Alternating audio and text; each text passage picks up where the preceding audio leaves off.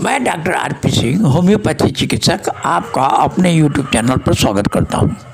रोगी को ठीक होम्योपैथिक औषधि का चुनाव करने के पूर्व अपने व्यक्तिगत, सामूहिक लक्षण विशेष और प्राकृत पर अवश्य विचार करना चाहिए नाक की अस्थि का क्षय के उपचार के लिए होम्योपैथी की दवा, आरम मेट 200 नंबर और कैली बाई कार्ब 200 नंबर। इन दोनों दवाओं को आधे कप पानी में चार चार बूंद दिन में तीन बार लें। ध्यान रखें, दवा हमेशा खाना खाने के एक घंटा पहले या एक घंटा बाद ही लें। लहसुन, प्याज और अदरक का परहेज करें। धन्यवाद।